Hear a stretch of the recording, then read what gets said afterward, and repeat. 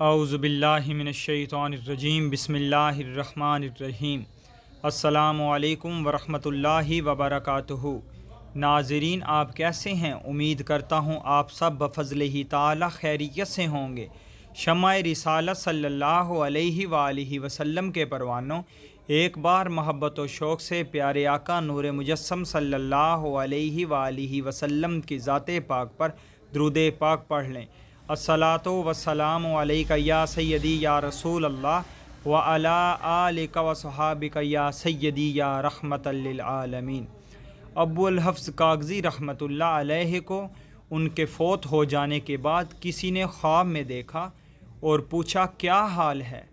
और अल्लाह ताला ने आपके साथ क्या किया? फरमाया, अल्लाह ताला ने मुझ पर रहम फरमाया, मुझे बख्श दिया और मुझे जन्नत में भेज दिया।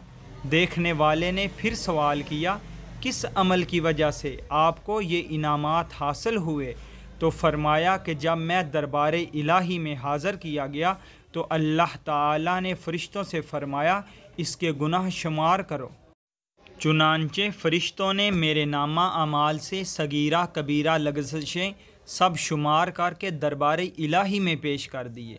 फिर फरमान इलाही हुआ कि इस बंदे ने मेरे हबीब सल्लल्लाहु अलैहि वसल्लम पर जितना द्रुद पाक पढ़ा है, वो भी शुमार करो।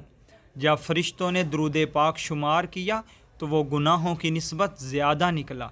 तो अल्लाह करीम जल्ला मजदहू ने फरमाया, ए फ़रिश्तों, मैंने इसका हिसाब भी मुआफ़ कर दिया है। लिहाजा इसे बग़ैर हिसाब किताब के जन्नत में ले जाओ। सामाइन व नाजरीन, आप भी कसरत से प्यारे आका नूर मुजस्म सल्लल्लाहु अलैहि वसल्लम की ज़ात पाक पर द्रुद पाक पढ़ा करें। मज़ीद द्रू शीफ़ की फजीलत सुनने के लिए हमारे चैनल को सब्सक्राइब करें, साथ बेल आइकन को भी प्रेस करें, ताकि हर नई आने वाली वीडियो आपको आसानी से मिल सके।